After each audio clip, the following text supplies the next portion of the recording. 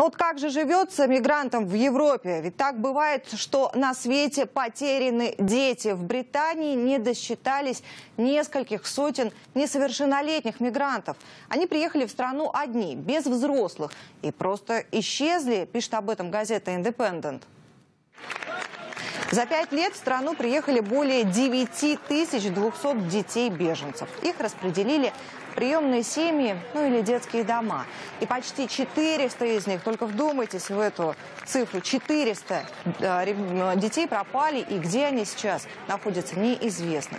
Социальные работники, которые должны отслеживать благополучие таких ребят, говорят, их невозможно найти, они не выходят на связь уже два года. Власти опасаются, что пропавшие дети могли попасть в рабство к торговцам э, людьми или даже стать жертвами насилия. Англия не единственная страна, где исчезают несовершеннолетние мигранты в Германии. Куда за последние годы приехало больше всего беженцев, ситуация не лучше. Недавно там заявили, что тоже теряют детей беженцев. С начала 2016 года пропало почти 9 тысяч таких ребят –